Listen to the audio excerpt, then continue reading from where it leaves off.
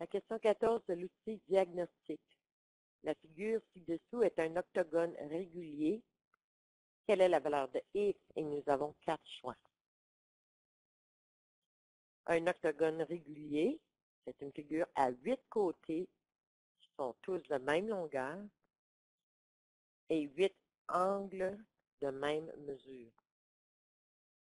La somme des angles d'un quadrilatère, dans ce cas ici d'un trapèze.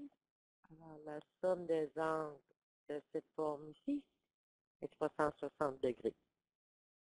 Je vais trouver la valeur de x. À cet endroit ici,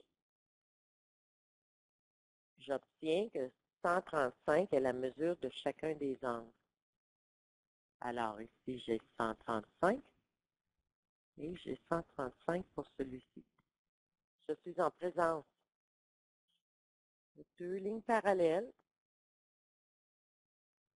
Et si on se souvient bien, la somme des angles internes est 180.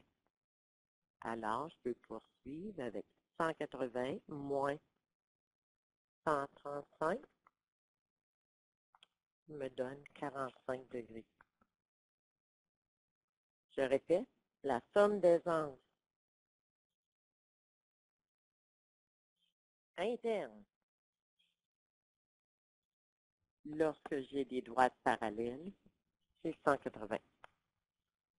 Donc ici, je peux dire la somme de ces deux angles est 180. Par différence, j'obtiens que x égale 45. 45 degrés, la réponse est ici. Merci.